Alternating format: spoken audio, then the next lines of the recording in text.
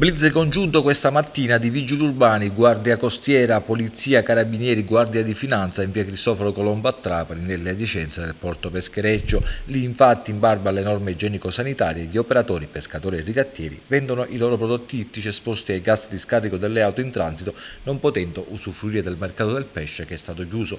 L'intervento delle forze dell'ordine, non sono stati eseguiti tuttavia sequestri di merce, ha scatenato la protesta degli operatori della pesca che hanno raggiunto Palazzo Dalì per manifestare il proprio malcontento. Così, in una piazza blindata dalle forze dell'ordine, hanno fatto sentire la propria voce. In pratica, essendo il mercato del pesce chiuso, voi vi mettete a vendere i vostri prodotti in mezzo alla strada, cosa che non si può fare, giusto? Sostanzialmente è così, ma ripeto, noi abbiamo fatto, espletato quello che il Comune ci ha chiesto, in quanto siamo eh, assegnatari dei posteggi, perché abbiamo aderito alla, alla domanda e quindi abbiamo fatto tutto quanto.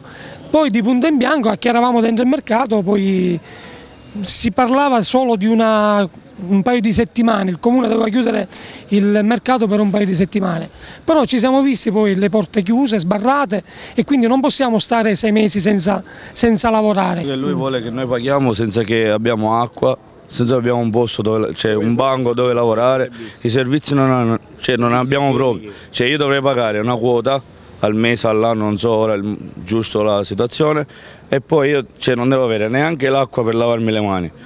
Cioè, dove mi metto poi un servizio, non abbiamo servizi e lui vuole che noi paghiamo senza servizi, ma che cosa dobbiamo pagare?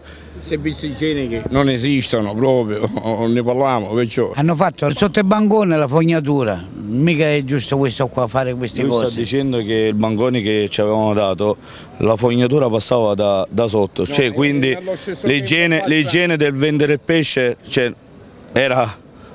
non c'è. Una delegazione di operatori è stata poi ricevuta dall'assessore Giglio. È stato deciso che noi pescatori vogliamo una prologa per aderire tutti i documenti del mercato e l'assessore Giglio ha venuto e come non già detto che voleva, non può mettere una firma lui e decidere che aprire il mercato, deve fare diverse telefonate per, per vedere una procedura, per vedere se possiamo adeguire al mercato. Per adesso non possiamo vendere pesce come oggi, però noi pesci Andiamo, io oggi sono andato a lavorare, i pesci non, non l'ho potuto vendere, ce l'ho a bordo, come faccio? Come l'altro pure, rigattieri, pescatori. Vogliamo solo vendere pesce, una prologa di 15 giorni per vendere pesce.